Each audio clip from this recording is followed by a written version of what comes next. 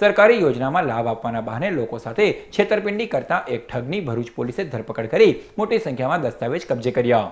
સરકારી બાલિકા સમૃદ્ધિ યોજના અંતર્ગત કિશોરીઓને રૂપિયા દસ હજારની સહાય આપવાની હોવાનો ખોટો પ્રચાર કરી ગરીબ પરિવારોને યોજનાનો લાભ આપવાના બહાને ઠગાઈ કરતા આકીર અકબર અલી સૈયદ નામના શખ્સની ભરૂચ પોલીસે મલબારી દરવાજા વિસ્તારમાંથી ધરપકડ કરી છે.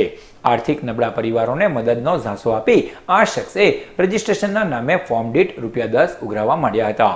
દરોડાની કાર્યવાહી દરમિયાન તેની પાસેથી સાતસો ને ઓગણપચાસ જેટલા આધાર કાર્ડ મળી આવ્યા હતા, જે આધારે તેને કેટલી મોટી સંખ્યામાં લોકોને બેવકૂફ બનાવ્યા હોવાનો અંદાજ આવી શકે છે. બી ડિવિઝન પોલીસે અકબર અલીની ધરપકડ કરી છેતરપિંડી ઉપરાંત ગરીબ પ્રજાના દસ્તાવેજોનો ડેટા કૌભાંડ માટે ઉપયોગ થનાર હતો કે કેમ તેની પણ તપાસ શરૂ કરી છે. એક ઇસમ દસ રૂપિયા ઉઘરાવીને લોકોના ફોર્મ ભરતો હતો, જેની પાસે કોઈ પણ જાતના લાઇસન્સ કે કોઈ ઓથોરિટીના પરમિશન વગર આ કામ કરતો હતો. અને આસપાસના વિસ્તારોમાં આવા ખોટા ફોર્મ ભરાવીને તેઓની પાસેથી દસ રૂપિયા લેખે ફી ઉઘરાવતો હતો. આવી બાતમી મળેલી તેને SOG police inspector P N Patel નાઓએ બાતમી આધારે પકડેલ છે.